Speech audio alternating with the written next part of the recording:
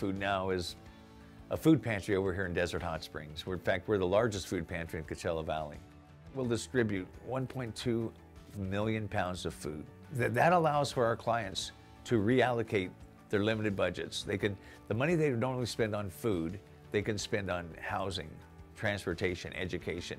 So that 1.25 million pounds of food will translate into about $800,000. That's $800,000 going back into the community that's being reallocated, that's helping our clients um, lift up out of poverty, to become housing secure, to get the medicine they need. I'd like to thank Agua Caliente Band of Cahuilla Indians for your generous support. It's only through the generosity of community leaders like Agua Caliente Band of Cahuilla Indians that we're able to continue to provide the level of service that we do. It's only through your generosity that we're able to help hundreds of families, thousands of individuals, thousands of children become food secure. Thank you very much.